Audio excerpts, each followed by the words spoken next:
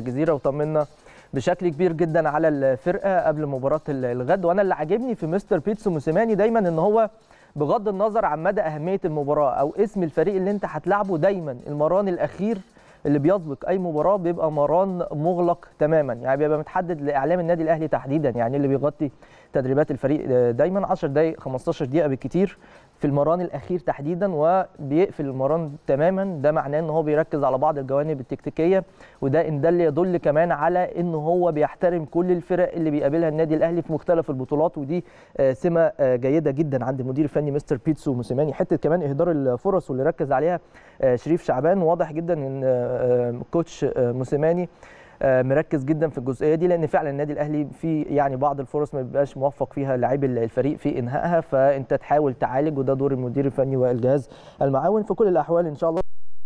أتمنى لهم كل التوفيق في مباراة الغد أمام البنك الأهلي. هروح لفاصل سريع بعديه نرجع نكمل كلامنا وبعض الأخبار المهمة جدا. يلا بينا.